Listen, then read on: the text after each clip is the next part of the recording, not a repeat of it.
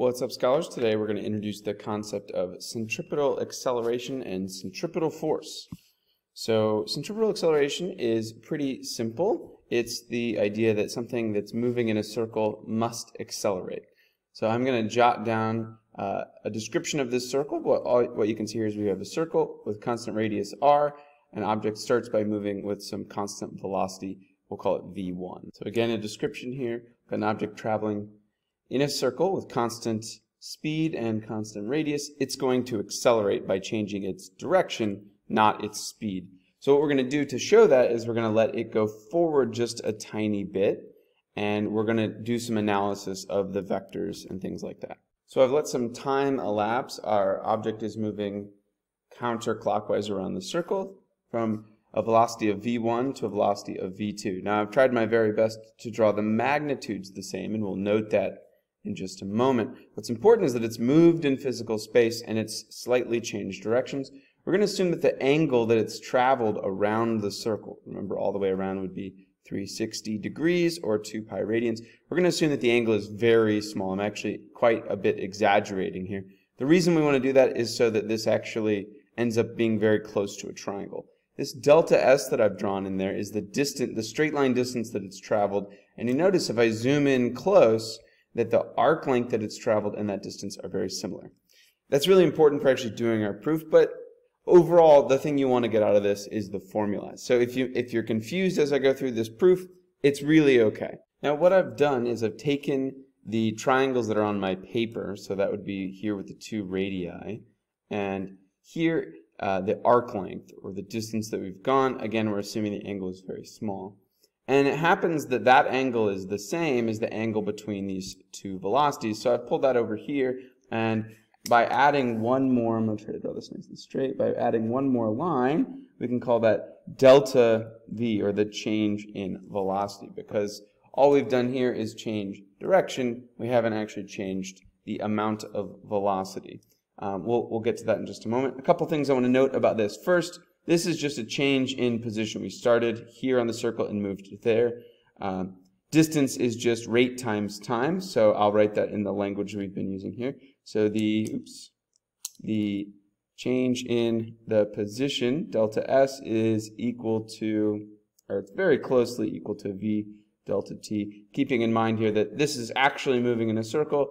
We're assuming a small angle so that this distance is very close to that arc length.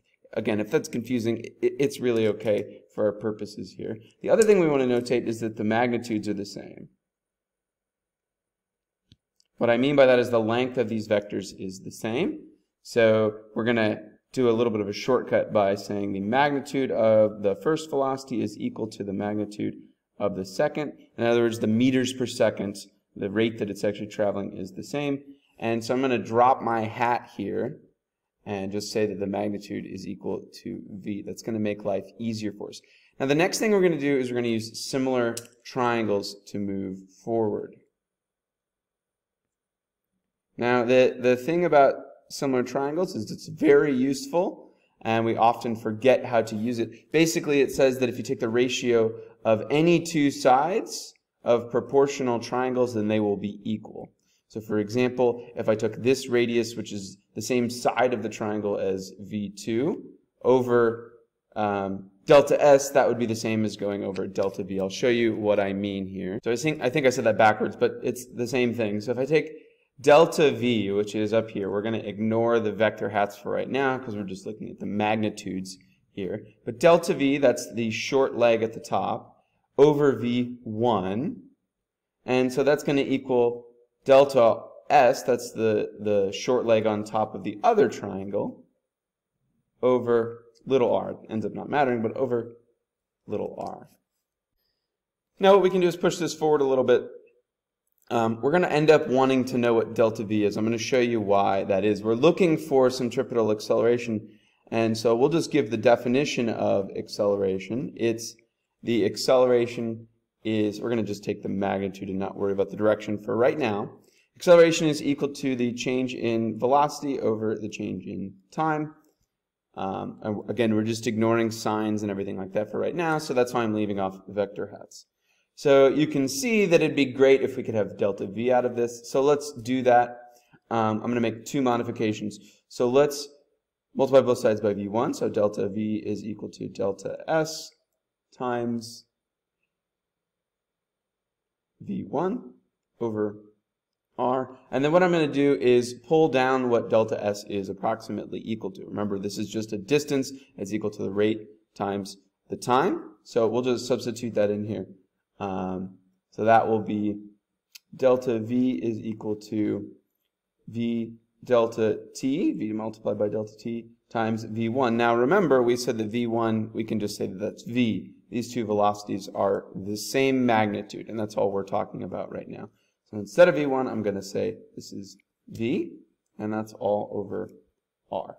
Now if I clean that up just a little bit, this should be v times v times delta t over r. So delta v, I know I'm going quickly, you can see the algebra steps here. So v times v, it's v squared, times delta t all over r. Now let's take that information and plug it into the acceleration equation.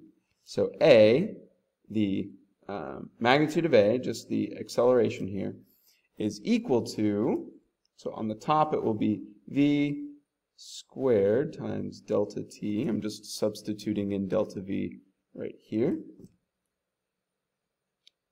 Over r all over delta t. Now if you look carefully, you've got delta t on top and delta t all the way down here on the bottom. Those will end up canceling. So we end up with a very simple equation that describes the acceleration of something moving in a circle. So this is the magnitude of the acceleration. It's just v squared over r. We'll put that in a box in just a second. Um, the last thing we want to know is what direction is that acceleration going to be? I'm going to try to demonstrate that to you right now.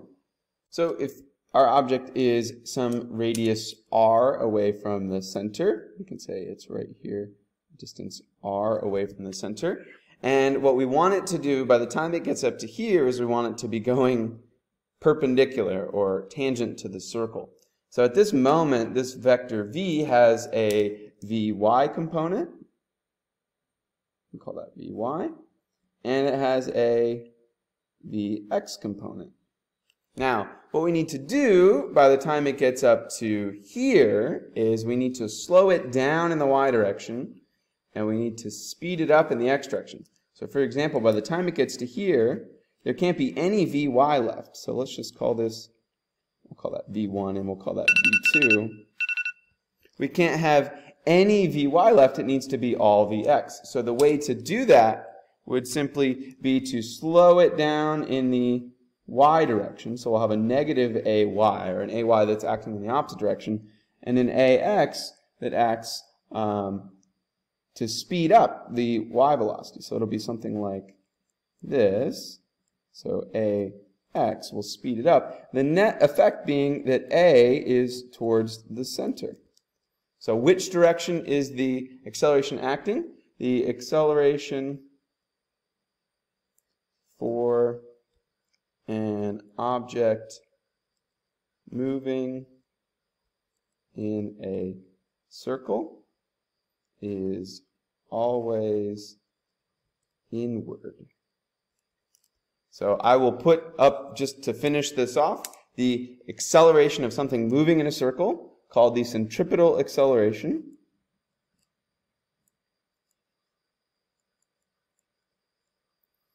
is AC for centripetal is V squared over R.